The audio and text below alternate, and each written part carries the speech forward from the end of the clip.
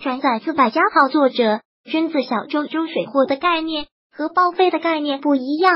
健康的奥登很厉害，是伤病毁了奥登，所以不能用水货来定义它。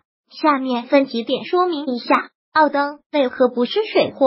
一、列举一下奥登进入联盟之前获得的奖项：幺二零零五年全美最佳阵容，一对二二零零五年加德勒全美年度最佳高中球员；二零零六年奈史密斯年度最佳高中球员；四、二零零六年加德勒全美年度最佳高中球员；五。二零零六年麦当劳全美高中生全明星阵容，六二零零七年美国大学年度最佳防守球。员，七二零零七年五等奖，八二零零七年 NBA 选秀状，这么多奖项，证明奥登是具备一定实力的。二利亚杜兰特获得状，杜兰特何许人也？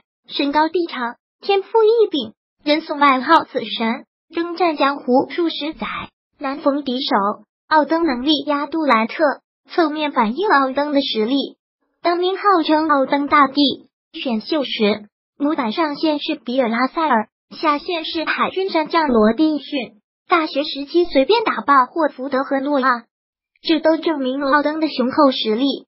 三，其他人对奥登的评价，有人认为他是 NBA 历史上最恐怖的中锋，拥有邓肯的心智、奥尼尔的力量、奥拉朱旺的脚步、加内特的技术。ESPN 专家福特评价奥登，他是那种二十年才会出一个的中锋。引用一句老话，群众的眼睛是雪亮的。